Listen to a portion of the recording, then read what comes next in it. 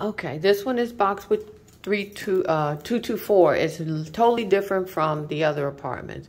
You got it where it's got this whole wall of closets right here. And then when you walk in and then to the left, there's actually a little dining area.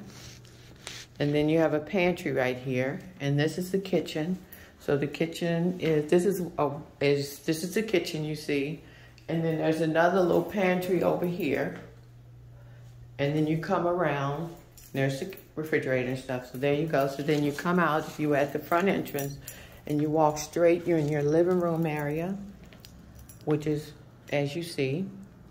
And then over to the left is the bedroom. The only difference, or one of the main differences that I want to mention is that in order to be in here, to get to the bathroom, you have to come through the bedroom. See how that is? But it's got all the handrails and all that stuff on it. So, and then there's another little closet there, and then you got this closet here. I think this is probably a perfect option because it's a little bit bigger.